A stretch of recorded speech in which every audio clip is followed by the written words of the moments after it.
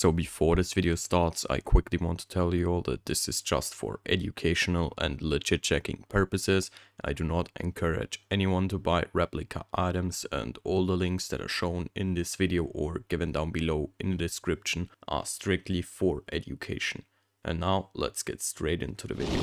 Yo, what's up you guys? Welcome back to another video and today we will be unboxing and reviewing some Rick Owens Ramones from Poshkicks. By the way, I'm a bit sick right now, so please don't judge my voice and stuff like that. Um, yeah, I would say let's get straight into the unboxing slash review part and talk about the seller, sizing, stuff like that later in the video.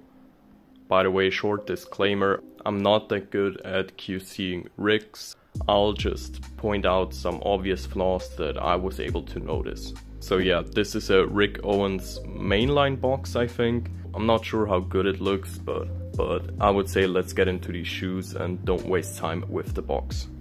So when we open up the box, we are greeted with this like Rick Owens bag. Here it says some stuff about the pair, I don't know how important that is.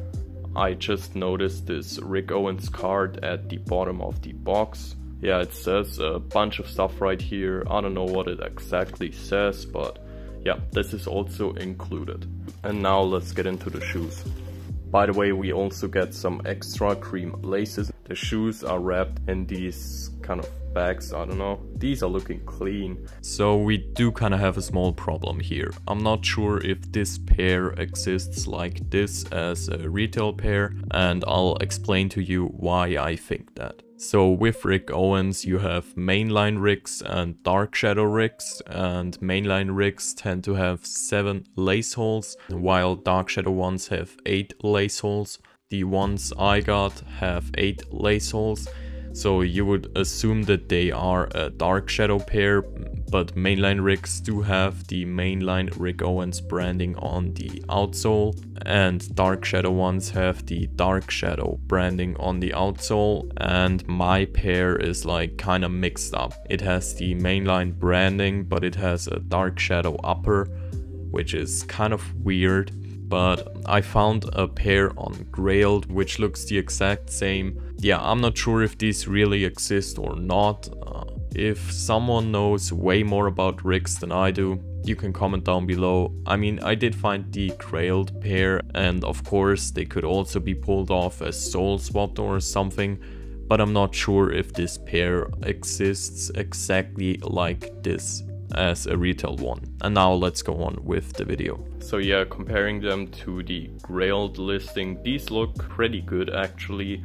The toe box seems pretty good. Um, the sole is correct as well as the outsole branding, which is a typical mainline sole. Then we have the zipper right here. And here is this like printed note. This is the size I think. I don't know if this is correct, but at least real pairs also have text on here.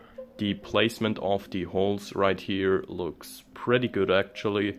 On the inside tag it has the Dark Shadow logo, I think this is.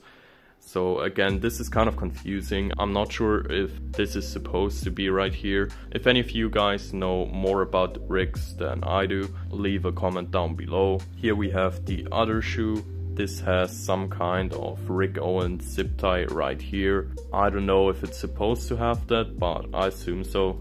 As you all can see, the branding actually says Rick Owens and not RRIC always like some budget batches do. I forgot to mention this in the original video, but it also says Rick Owens on the insole right here. I would say I'ma try them on, then we're gonna watch some on-foot clips and then I'll talk about sizing since it's kind of weird with those.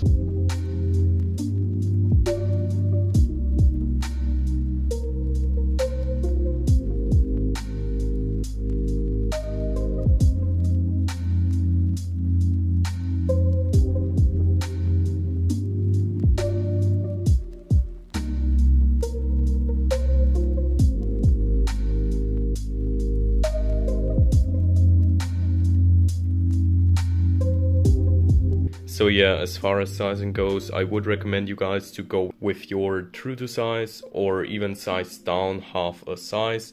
For reference, I usually wear a size 43 or 44 in Jordans and stuff like that.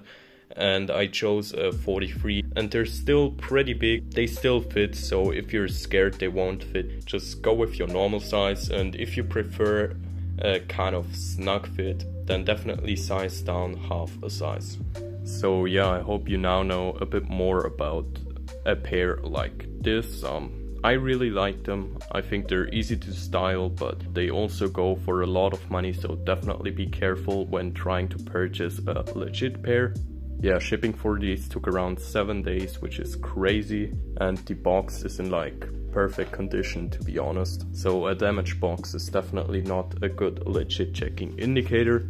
Now that's gonna be it for the video. If you've somewhat liked the video, make sure to like the video, subscribe for more, and if you have any questions, wanna suggest something, whatever you feel like doing, feel free to leave a comment down below. That's it for my part. Have a great day.